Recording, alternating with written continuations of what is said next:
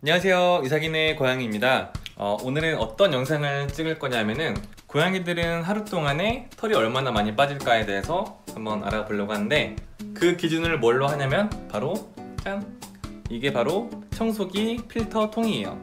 어, 지금 안에 내용물은 비워져 있는 상태고 어, 이거를 끼고 나서 청소기를 바로 돌려볼 건데 지금 정확히 약 24시간 동안 돌리지 않았기 때문에 하루 만에 얼마나 많이 나올지 한번 측정을 해보도록 하겠습니다. 반태야 아빠 청소기 돌릴 거야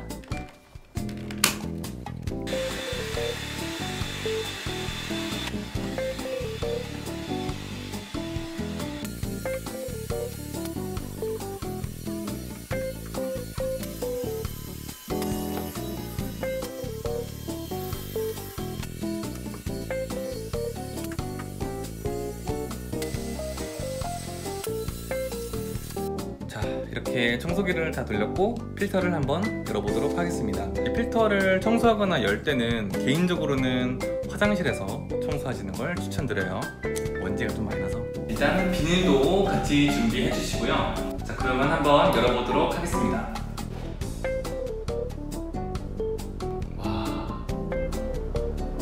여러분 이게 하루 만에 나온 털들이에요